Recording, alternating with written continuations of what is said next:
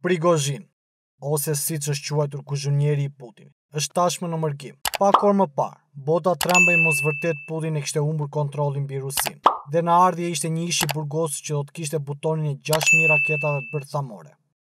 Në fakt gjithçka ishte orkestruar nga ish koloneli i KGB-së, ku një ndër specialitetet që ka pas mësuar është manipulimi. Pse ndodhi e gjithë kjo?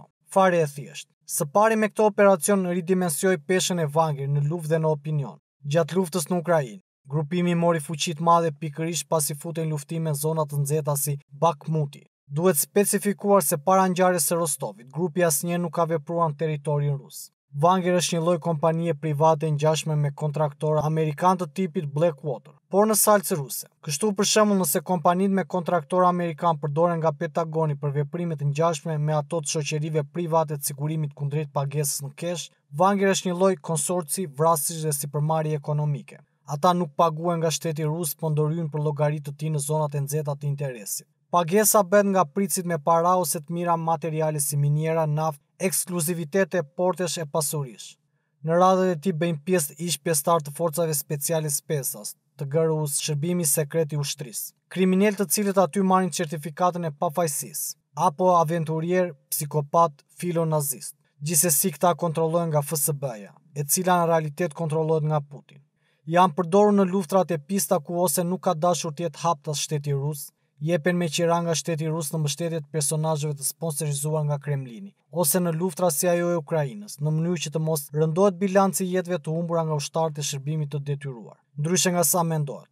Vetë Prigozhin jep llogari te Putin. E dëshmon dhe fakti që shefi i Wagner asnjëherë nuk e sulmon bosin e Kremlinit. Përfshirë dhe ngjarjet e fundit ku ai deklaroi se po nisej në Moskë të qëronte hesapet me Shoigun dhe Gerasimovin. Kështu që ndërmjetësimi i Lukashenkos nuk është asgjë më shumë sesa një blof, kurse e gjithë tentativa e grushtit të shtetit, një teatër rolet të cilat i caktoi regjizori Putin. Ndërkohë Shoigun, ministri i Mbrojtjes, nuk është një zgjedhje me dëshirë e Putin. Shoigun vjen nga radhët e pakicës etnike Tuvala. Në një farë mënyrë ai përfaqëson gjithë pakicat etnike që përbëjnë rreth pesëmbëdhjetë për qind të Rusisë. Gjatë qëndrimit të tij prej dymbëdhjetë vitesh në krye të Ministrisë së Mbrojtjes, ai pranoi në radhët e ushtrisë edhe të rinj me prejardhje nga Kaukazi dhe rajonet e Lindjes së Largët. Është pikërisht kjo fashë e ushtrisë, e cila së bashku me çeçenët e Kadirov, dhe milicët e republikave të vetëshpallura të Doneskut dhe Luganskut kanë mbajtur peshën kryesore të luftës në Ukrainë dhe kanë pasur edhe humbjet më të mëdha në njerëz, duke bërë që të mos ketë një numër të madh humbjesh nga popullsia ruse, çka do të përbënte problem për Putinin. Por mospasja në kontroll të plotë mbi Shoigunin është problem për Putin, që mes tyre nuk rrjedhin ujëra të qeta u duk dhe në vizitën e fundit në qendër spitalore ku ishin shtruar ushtarë të plagosur, ku gjatë vizitës Putin nuk shkëmbeu as shikime me vartësin e tij. Mirëpo dhe një diktature i duhet një fabul për ta hequr ose zvogëluar ndikimin e një figure politike, edhe në këtë rast të Shoigu. Ndaj Putin ka nxitur Prigozhin, i cili duke e nuhatur prej kohësh aciditetin mes dy figurave ka menduar t'i japë një dorë Putin, duke forcuar kështu dhe pozicionin e tij.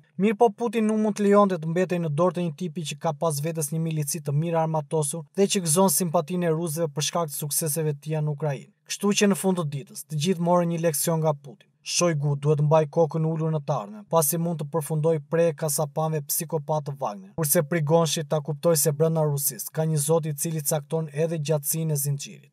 A rrezikonte vërtet Wagner pushtetin e Putin? Kush e ka ndjekur luftën aktuale e di se pjesa elitë së ushtrisë ruse, trupat speciale Specnaz, regjimentet desante, Divizioni e blinduar si ai Tamanskaja, të pajisur me teknologjinë e fundit, ende nuk janë futur në luftime dhe janë të paprekura nga lufta në Ukrainë. Të gjithë këta janë nën komandë me dorë të hekurt të Putin. Dhe ishte e paimagjinueshme që qoftë dhe një korpus si ai Wagner do mund ta kërcënonte realisht Moskën. Nga e gjithë dita e turbullt i fituari i madh doli Putin. Me një lëvizje ridemensionoi Shoigun. dhe i rikujtoi Prigozhin se roli i tij është vetëm jashtë kufijve të Rusisë. Kurse perëndimorëve u rikujtoi se tregu rus i politikës për momentin nuk ka ofertë më të mirë se Vladimir Putin. Në të kundërt duhet të merren vesh me psikopatë të lëshuar nga burgjet si Prigozhin apo pijanecë si Medvedev.